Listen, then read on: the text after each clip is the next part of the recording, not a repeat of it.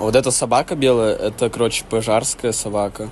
И она, видимо, нашла кошку или что, короче, она притащила кошку. Сегодня у наших прикамских соседей в Перми, где, как и у нас, газоны зеленеют на пороге декабря, высотный пожар в жилом доме поставил под реальнейшую угрозу жизни трех людей, оказавшихся в горящей квартире отрезанными от спасительного выхода. Горела однокомнатная квартира в Орджоникидзевском районе в кирпичной 16-этажке номер 53А по улице Минжинского, куда огнеборцев вызвали около трех пополудни.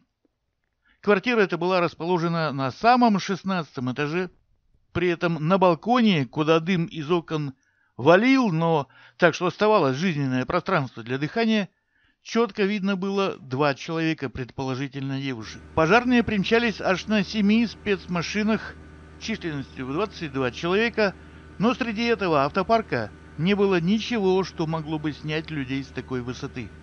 Лишь одна автолестница, непонятно для чего, вытянулась, достав до десятого этажа. Дескать, извините, я не бездельничала, сделала все, что могла. Спасти людей удалось по-другому. До того, как огонь и дым успели превратить в ад обстановку на спасительном балконе, они затянули на шестнадцатый этаж пожарный рукав, и мощная помпа продавила весь этот вертикальный столб воды. Пламя на 15 метрах комнаты в 20 квадратных метров – было потушено за пару минут. Таким образом и спасли двух людей из ловушки на балконе. Всего же спасенных официально числится три, откуда взялась третья и каково состояние отбитых у пожара людей не уточняется пока. Еще одним спасенным стал черный щенок.